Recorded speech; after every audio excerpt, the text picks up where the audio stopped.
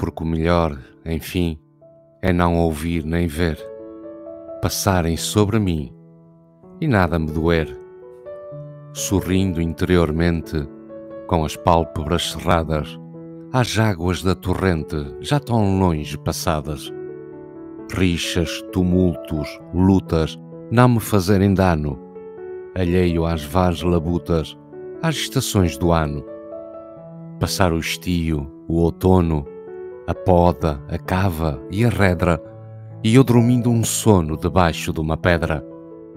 Melhor até se o acaso o leito me reserva, no prado extenso e raso, apenas sob a erva, que abril copioso ensope e esvelto a intervalos, fustigo-me o galope de bandos de cavalos.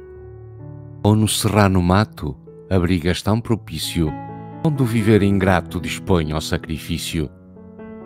Das vidas, mortes duras, ruam pelas quebradas, com choques de armaduras e tímidos de espadas.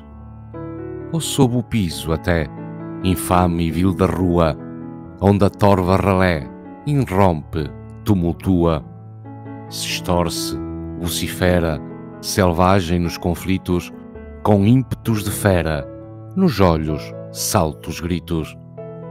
Roubos, assassinatos, horas jamais tranquilas, em brutos pugilatos, fracturam-se as maxilas.